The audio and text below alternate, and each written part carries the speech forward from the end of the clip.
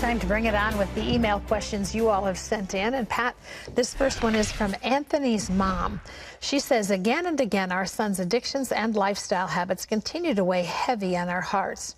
We've tried everything and yet no change. He chooses to blame us and everyone else for the decisions he alone continues to make. We are older now and he will soon be 30. I don't want him homeless, but neither can we continue to pay for his mistakes. What should we do? Um, you should cut him loose, let him go on his own. He's 30 years old, for heaven's sakes.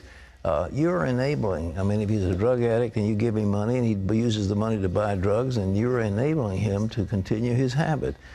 I mean, he may have to hit bottom. He may have to wind up on Skid Row, and it'll break your heart to see it happen, but it's got to happen. You have to turn him loose. 30 years old, and he's still a freeloader on you.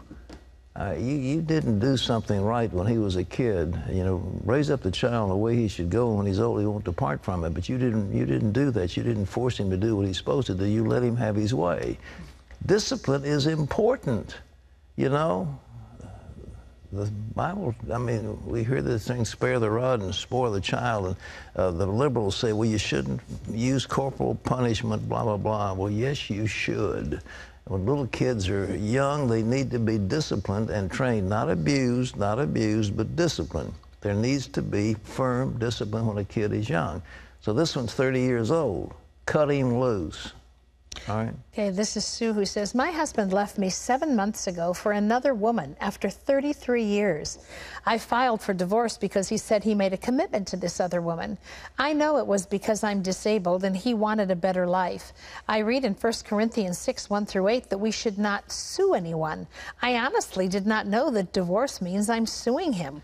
I wish I would not have had to do this, but there was no other way. Do you think God will forgive me? I still pray well, for my husband every day. Uh, of course, the, the legal system is set up, and it's been this way for some time. I mean, you know, you don't. Uh, you have judges in the Old Testament, and Jesus talked about judges, and uh, you know, we have judges and we have courts, and uh, uh, there's no question that the way in today's world to get out of a marriage is to have a judicial decree.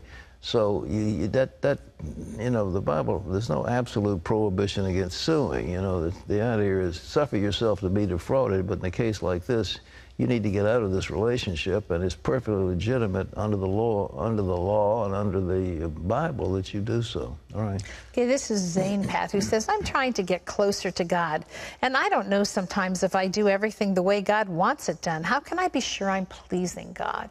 Um, you love Him, you know. That's what it is. Do you love God?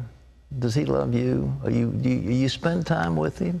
Uh, you pray, you worship Him, you tell Him how much you love Him, you read His Word, and do you try to keep, if you love me, you'll keep my commandments. Do you try to keep the commandments of God? Do you love each other?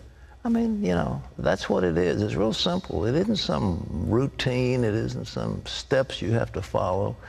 Do you love God? You know, love is, in a sense, an emotion as well as an act of volition. All right. This is Brenda who says, Pat, every time I go before God for total surrender to be used by Him, I get sick. I do not deal with sickness well. Can the devil make us sick? What's going on? Uh, I think the devil can put sickness on people. I, I, just find it hard to believe that he's doing it to you, but at the same time, uh, here's the prayer you pray Satan, I bind you and the forces of evil.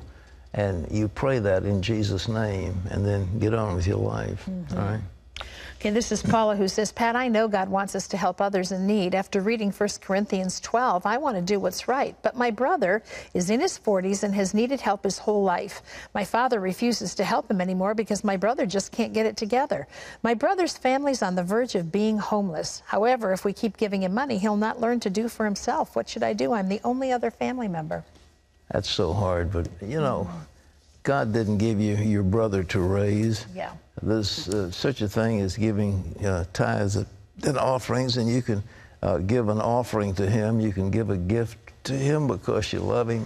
But uh, I don't know what it is with people today. They just don't seem to take responsibility. They aren't taught responsibility, they, and they have this uh, attitude. It certainly is in, endued by the liberal mentality that the government owes them something. I tell you, nobody owes you anything. Nobody owes your brother anything. And uh, what is owed him is the opportunity to be free and to make his own way in life. And if he won't do it, you know, the Bible says if a man won't work, let him not eat. I mean, that's that's what it says. It, you, that's the Apostle Paul. If he won't work, let him not eat. So, you know, if he won't work and he won't do something, you don't have to take care of him.